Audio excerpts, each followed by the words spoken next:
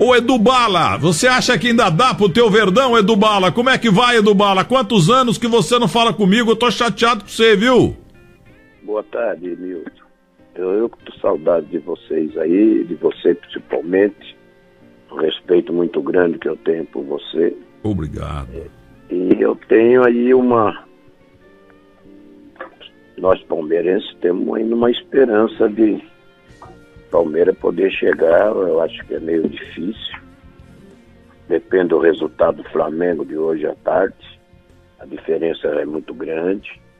Mas sabe que futebol tudo tem, tem os seus momentos, suas histórias e suas surpresas. E a gente torce que vence o melhor. Se o Palmeiras tiver condições de chegar, como tem condições grandes jogadores de chegar vamos torcer que o Campeonato Brasileiro se torne melhor ainda, que possa chegar uma final Palmeiras e Flamengo. O Edu, quantos brasileiros você tem? Quantos campeonatos paulistas pelo Palmeiras? Eu, eu ganhei o brasileiro de 60, não era brasileiro, era Rio São Paulo, 69. Ganhei o Campeonato Brasileiro de 72, ganhei um brasileiro de 76, ganhei o Campeonato Paulista 71, 72, 74, 76. Tem bastante título aí, porque o time era um time forte, um bom treinador, que era Oswaldo Brandão tive o Minelli como treinador, Mário Travalini, tive Filpo Nunes. Eu acho que o Palmeiras, com os jogadores que tem, tem todas as condições de, de disputar todos os campeonatos que já passaram e chegar junto de todos. A gente espera que esse campeonato brasileiro a gente possa chegar junto com o Flamengo ou tentar chegar junto ao Flamengo. O Edu, você não é campeão brasileiro de 78 pelo São Paulo também? Fui pelo São Paulo, eu fui campeão em 77. Ah, é, 77. Quando 78 foi o Guarani. É, 78 foi o Guarani, que eu ia pro Guarani e acabei no São Paulo. Ô Edu, que, qual jornalista que. Você corria mais que notícia ruim. É, é, que, quem, quem que, que. Qual jornalista que te deu esse slogan? Esta marca Edubala? Quem foi? Quem foi foi Osmar Santos. Osmar Santos, o grande Osmar Santos, saudade dele também. Um grande radialista, um grande amigo nosso. E a gente sente por, por ele ter sofrido um acidente e ter fazendo falta para todos nós aqui uma transmissão bonita, como tinha o Fiore, como o, o seu, seu pai também, que era um excelente radialista, jornalista. E a gente torce que possa aparecer alguns aí para suprir essa, esse vazio que está acontecendo aí dentro do futebol brasileiro. Eu, eu aviso você e todo mundo que gosta do Osmar Santos, encontrar o Osmar é a coisa mais fácil do mundo. Todo dia, eu vou repetir, todo dia ele está no terceiro andar do shopping Caneca. Ele vai, ele toma um vinho, um pouquinho de vinho, e vai é. ver um filme do lado nos nove, um dos nove melhores cinemas de São Paulo. Ele vai todo dia no North Grill do Frei Caneca, todo dia, com a sua cadeira motorizada. Ele chega, todo mundo tira foto com ele. O Osmar continua extremamente reconhecido e é, acariciado. Olha, todo mundo gosta dele ele está sempre sorrindo e o povo não esquece de Osmar Santos. Agora, Edu, você está com quantos anos? Eu completei agora dia 25, 71 anos. 71. E o ponto eterno daquele Palmeiras espetacular, Leão, Eurícolis Pereira, Alfredo Zeca, Dudu Edemir, Edu Levinha, César Inei. Eu sou muito amigo do Polaco, cujo irmão era repórter da Folha. É. O Polaco mora lá em Presidente Prudente ou em Rancharia. E ele falou que ele era titular, mas aí ele machucou, entrou o Alfredo, que estava voltando do América de Rio Preto, estava emprestado, o Alfredo, e o Alfredo quebrou o galho, porque o, o, o nosso. ele estava machucado, o polaco, só que o Alfredo se firmou lá, nunca mais saiu. E o lateral é. esquerdo titular não era o Zeca, era o Celcinho, que acabou se machucando, morreu, uma morte terrível aqui no ABC. E o Celcinho era o titular e o Polaco era o titular, mas o Oswaldo Brandão efetivou. O Zeca, que chegou do Rio Grande do Sul, trocado pelo Tupanzinho, muita gente não entendeu Sim. na época, e o quarto zagueiro Alfredo Mostarda. Você lembra disso, né? Eu lembro, lembro quando o Polaco, o Polaco veio do Corinthians. Ele era da Prudentina. Sim, mas depois ele veio pro Corinthians. Do Corinthians ele veio pro Palmeiras. Aí o Alfredo estava em São José do Rio Preto, no América, o Alfredo voltou. Era o Baldock Luiz Pereira o sinal Nelson Curius de Baldock. A lateral esquerda, depois veio, é, veio o Zeca, era o Dé. O, o Dé da Portuguesa, o Dé da Portuguesa Santista que jogou no São Paulo e no Santos também. Santista, sim, Dé da Portuguesa Santista. Aí trocaram o Zeca pelo Tupanzinho, fora que acabou a primeira academia, né? Eles começaram a renovar a academia, trouxeram o Leão, trouxeram o Eurico, foram buscar o Zeca, que já tinha Dudu, Ademir, Luiz Pereira veio de São Bento, Baldock estava também. Aí me contrataram, contrataram o Leivinha, o César estava voltando do Flamengo, contrataram Madurga, tinha o Serginho, ponto esquerda, que era da Santista também.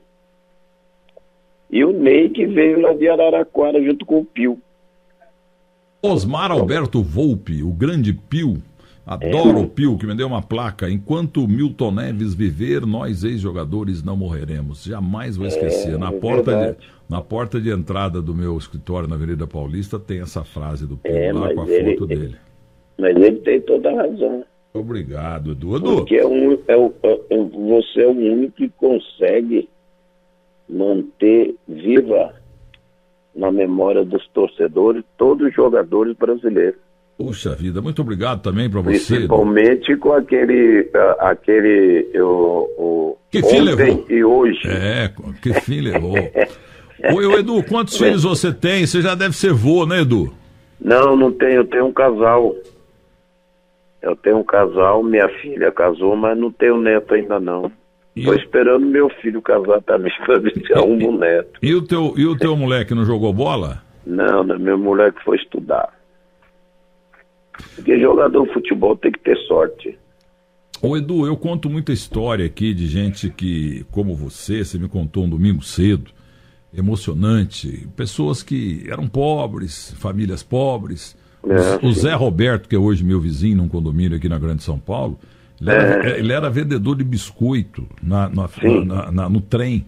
E, sim, sim. E, e, aí começou a ter muito atropelamento de moleque lá no trem é. e tal. Aí a Fepasa fez um muro lá e a molecada, no entanto, furou, fez buraco no muro para continuar vendendo, porque era a subsistência dos é, moleques e da família. E não teve jeito. A Fepasa acabou é, desistindo. O Ricardo Oliveira, que tá, é o outro vizinho meu lá do condomínio, que está jogando em Belo Horizonte, é. Ele era vendedor no, no, na Zona Norte, no Farol, vendia quinquilharias ali, e ele comia restos do McDonald's, no lixo do McDonald's. É. E você me contou uma vez, seu Edu, que você morava também na Zona Norte, numa casa pequenininha, é. com teu pai, com tua mãe, com teus é. irmãos, e que mal cabia todo mundo. E aí tem a história do rato. Conta a história dos ratos de novo, que você contou para mim faz uns 20 anos. Mas era difícil a vida da, da, da, da, época era difícil. Porque na época só trabalhava o pai e a mãe. Quer dizer, com 11 filhos. Mal dava para sustentar todos. Aí você tinha que se virar de qualquer jeito. Chegava à noite, você comia aquilo que tinha e ia dormir satisfeito com, com, com rato ou sem rato, você tem que dormir. Porque antigamente o colchão era, tinha aquela, aquela mola, que era de, era de palha o colchão. E quando o colchão ia, ficar, ia envelhecendo, o, a palha ia cair dentro do, daquela mola onde o rato fazia o ninho. Ele ficava ali, mas meu pai tinha um jeito de, de, de, de matar os ratos que ele colocava Quando sobrava o resto da comida, eu colocava cimento para o rato poder comer. É o único jeito de matar o rato. Senão não tinha jeito, não. Então, tinha que dormir com o rato mesmo, rapaz. Você me contou que, mesmo com aperto, teu pai comprava uns pedacinhos de queijo e botava, fazia um furinho ali no pedacinho de queijo e jogava um pouquinho de cimento. Comprava um cimento também. Mas não dava tempo de ah, botar o. Aí o, o, rato ia lá, comia o queijo com, com o cimento e amanhecia com as quatro perninhas para cima, assim, com a barriga é, é dura. É. A barriga fica dura. É. E, e, e ele não cheira. Ele não cheira porque a barriga fica dura, o cimento endurece na barriga do rato. E amanhecia um monte de rato morto com a barriga morto, pra cima? Amanhecia eles tudo de bruxa. Pois tá é. dando com jeito. Porque isso quando tinha o queijo, né? E era um quarto só para 13? Um quarto, eram dois quartos.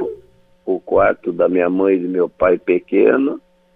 Da sala a gente fazia o quarto. Era beliche encostava uma na outra, né, de quatro, de duas faziam quatro. Onde que era? Era no bairro do Limão. Depois que você passou a jogar bola na portuguesa? Não, hoje, é, depois que eu passei a jogar, graças a Deus, comprei uma, uma casa para minha mãe, e aonde era da minha mãe que eu morava, que era o, o barraco lá, ela passou pro meu nome, eu construí uma casa e deixei o, o, o rendimento para minhas irmãs. Graças a Deus eu tenho minha casa, hoje eu tenho mais três, quatro imóveis de. Isso eu devo muito a Portuguesa, ao Palmeiras, São Paulo, todos os clubes que eu passei. Jogou em Recife também, né, Edu? Joguei no esporte e joguei no Santa Cruz. Então, você... Eu ia jogar no Náutico. Era o, era o Carabina, era o treinador do Náutico. Valdemar Carabina, Valdemar Figueira. Mas, mas o pessoal diz assim, você não você está jogando demais por aqui, não? Eu falei, não, vou jogar só mais um pouquinho. Mas aí eu vim embora, vim jogar aqui no Nacional da capital, que era seu Aldo de Mauro. Joguei aqui, depois fui para Uberaba, jogar no Uberaba. Saí do Uberaba, fui jogar em Santa Catarina, no Marcílio Dias. Voltei do Marcílio Dias, fui jogar em São Carlos. Joguei em Itu. Falei, agora chega, estou com 40 anos, não dá para jogar mais. Mas corria mais que notícia ruim, Edu? Mas era que o treino era diferente, né, Ana? Se é hoje, a gente corria muito mais. Porque hoje treina menos. Não treina tanto que treinava antigamente.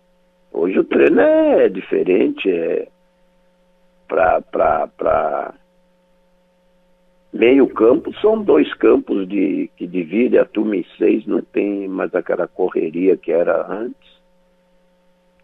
Mas a gente precisava na época da, da, do preparo físico. E o Valdemar Carabina, o nome dele era Valdemar Figueira, ele morreu lá em Salvador, o filho dele morava lá. E o gol do Maracanã no goleiro Leves, Vasco e Palmeiras, o gol relâmpago, hein, Edu? É, mas tem que ser rápido. A gente tem primeiro. Na seleção de março eu fiz isso com o Ayrton, que era do São Paulo, que faleceu, infelizmente faleceu faz uns três meses atrás. Eu falei, eu estava jogando a seleção de março contra uma seleção de São Caetano. Eu conversando com ele, mas estava dando sinal para quem estava com a bola. Aí estava distraindo ele, conversando com ele, e quando o juiz apitou, já estava lá dentro da área. Ô Edu, mas o gol, o gol Vasco e Palmeiras, no auge do Filpo Nunes, lá é. no Maracanã, o goleiro que já faleceu também, chamado Leves. O pessoal brincava que o Leves, depois daquele gol, largou do futebol e montou a fábrica de jeans. O Leves, o Leves estava lá fazendo aquela. O que os goleiros antigamente, né, na pequena área ali, não nascia grama, né? Era areia, não, era. Então ele estava lá Era. com a chuteira fazendo uma cruz ali. E de repente, quando ele levantou, é, quando ele levantou, a bola levantou a cabeça, a bola estava na rede. Já, com, já estava. Conta tá como é que o, o Filpo Nunes treinou Não, isso quem, mesmo. Mas quem, mas quem fez esse gol foi o Gildo. Sim, o Gildo Bala que morreu outro dia lá, aqui em São é, Paulo. É, mas você estava é. na reserva esse dia? Não, não. Eu estava na portuguesa ainda. Então, e, e, o que que o Gildo falava? Porque esse gol foi aos 6, 7 segundos. Aquele foi. Mauro Betti que sumiu, ele, esse é. Mauro Betti falou que o gol foi com um segundo. Mas com um é. segundo o Servilho tocou pro Tupanzinho e já acabou o, gol, o lance. Foi com quantos segundos? Sete, sete segundos, baixaram para seis, para cinco, para quatro, para três, para dois. Daqui uns dias o gol do Gildo aconteceu antes de começar o jogo. É, antes de começar o jogo, mas foi muito rápido. Ele era muito rápido. Mas também o pessoal que está com a bola tem que ser, tem que lançar muito bem a bola. Jalma Santos que lançou, né? É, porque a bola de hoje é diferente da antigamente. A bola de hoje é, é um espetáculo. Se joga hoje Nelinho, joga Zico, de cá, Jorge Mendonça, Ailton Lira, ah, eles iam fazer gol demais. Porque o Edu... Nelly, o Nelly, então. Nossa, eu achava demais. Agora, esse gol aí foi incrível, né? Porque o Tupanzinho deu a saída pro Servilho, o Servilho recuou aqui pro Djalma Santos. E, o, e o Gildo já estava correndo. Mas isso é, é mas isso aí é... a, bola, a bola passou na cabeça do Oldair Barque, que morreu lá em Belo Horizonte, jogou no é. Vasco, jogou também. Tinha um irmão chamado Oldak, lá de Uberaba, que jogou no Santos também. Aí o Oldair estava arrumando a meia. O, Mas o, o daí não jogou no Atlético Mineiro? Jogou não? no Atlético Mineiro, em 71, ele estava, inclusive, é, ele fez um gol de falta no, no, no, goleiro Sérgio Valentim, o Gerson baixou a cabeça. Era aquele. 71 não, 77. 71 é. mesmo, 71 mesmo. 71 é. mesmo. Então, o Odair era o lateral esquerdo do, do, do Vasco. Então, a, a, a, o Tupanzinho deu pro Servilho, o Servilho pro Djalma Santos e o Gildo já estava correndo lá. O marcador dele era o Odair. Aí mas... jogou no Fluminense, o Odair, jogou no Vasco. Aí ele, a bola passou raspando a cabeça dele, mas ele estava arrumando a meia. Aí o, a bola apareceu ali na frente do Gildo, ele fez o gol, porque o, o Leves estava lá fazendo aquela marcação lá com a chuteira e tal, fazendo uma cruz. O goleiro tinha, antigamente tinha mania de fazer uma cruz ali na, na pequena área. Mas é, é, mas é são jogadas ensaiadas. Foi do, do Filpo Nunes essa jogada é ensaiada, porque você tem que fazer no, durante o treinamento umas quatro, cinco vezes a mesma jogada, até dar certo. Senão o treinador não acaba o treino. Algum técnico teu treinou você para fazer o que o Gildo fez? Quem treinava muito era uma, era uma FIA. Você treinava, você treinava de, de, de, de 70 a, a, a 80 metros correndo. Você, por exemplo, fazia um teste de, de, de, de, de, de, de, de 100 a 200, mas marcado no relógio. Isso aí é do, numa linha de fundo na outra. Voltava e não tinha jeito. Você tinha que fazer, por exemplo, em 10, 12 segundos. É muita, é muita coisa. Muito rápido, tá louco. Nem o 100 é, Então, para você fazer um treino desse, você tem que estar muito bem fisicamente. Você falou do Hélio Mafia, né? O Hélio Mafia, preparador físico marcante até da seleção brasileira. Ele era chamado antigamente de fisicultor. O médico era, era chamado era. de facultativo. É, e o Hélio tudo. Mafia, o Hélio Mafia marcou época no futebol. Hoje mudou tudo. Mudou tudo. Agora, Edu, o que, que você está fazendo na vida? Só contando dinheiro? Não, eu aposentei, né? Eu aposentei e virei cozinheiro só de casa. Agora, falar nisso. Agora me deram um avental e me chamam de Ana Maria Preta. Escuta, o Leão que te dava muito conselho para renovar contrato para você, ele e o Dudu? Ele Dudu. Eu acho assim, eu tive dentro do futebol grandes amigos. Agora, um grande amigo meu, eu tenho poucos amigos assim que. Amigo mesmo de frequentar a casa deles, de, de, de poder escutar eles falarem o melhor para mim, que era o Leão, que eu me dava muito bem com a senhora mãe dele e o pai dele, e os irmãos. Me dou muito bem com a família do Dudu, tanto com a senhora e com os filhos dele. Me dou muito bem com a Ademir da Guia e com os filhos do Ademir e a senhora dele. Infelizmente eu não tenho hoje tanta, tanta amizade assim para estar junto com ele, que era o Zeca, que está é no sul, eu não posso ter contato com ele diretamente. Tenho uma amizade muito grande com os meninos que eram do juvenil do Palmeiras. Eu tenho mais amizade com o pessoal do juvenil do Palmeiras do que com o time principal. Porque quando eu jogava, eu vivia mais lá no meio dos meninos dos juniores do que no meio profissional. Eu ficava no meio de Pires, de Mococa, de Macedo, de Gilmar Goleiro, o Valdir, o, o, o, tinha um moleque chamado Papel que jogava na zaga. Eu tinha amizade com todos eles. E eu encontro com eles hoje, eles me tratam muito bem, com muito respeito. Nunca, nunca discuti com nenhum deles. Que não tinha motivo para discutir, não tinha, não tem. Então eu sou muito grato a essas pessoas. O Leão me ajudou demais. O Leão, o pessoal fala do Leão, mas como pessoa e como homem é muito boa pessoa. Eu acho que cada um tem sua maneira de ser. Né? Dudu, Dudu é, é, é, é um, foi um pai para quase todos os jogadores que chegaram no Palmeiras. A dele não, a é aquele sossego, aquele conselho. A gente procura copiar deles o que eles têm de melhor. Agora, Edu, é, pra, é, infelizmente tem gente que tem dificuldade na vida, e como temos milhões de brasileiros, como a tua família, a família do, é, do Zé Roberto, tremendo bom caráter, do Ricardo Oliveira. Então, quando tem rato demais, o negócio é pegar um pedacinho de queijo, fazer um furinho e jogar um pouquinho de cimento, que é tiro e queda. O rato come aquilo e no outro dia cedo amanhece com a barriga dura para cima. É, e vou dizer para ti mais um. Eu tenho um, um, grande amigo meu mesmo que jogou comigo na portuguesa, chama-se João Roberto Basílio. Opa! Também foi pobre? Ixi, Maria, vivia com ele aí na Casa Verde. Vivia com ele na Casa Verde. Ele morava na Casa Verde, eu morava no bairro do Limão. Então, até hoje, nós somos amigos assim de, de comer no mesmo prato, beber no mesmo copo. Então, esses amigos a gente não pode esquecer. Não pode, não. Eu tenho grandes amigos dentro do futebol, grandes, grandes amigos. Tenho uma admiração muito grande por eles. Se eu for citar todo mundo aqui, não vai caber nem no livro, mas.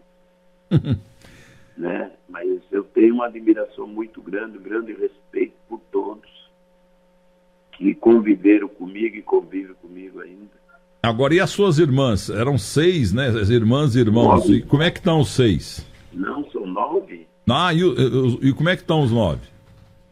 Faleceram três.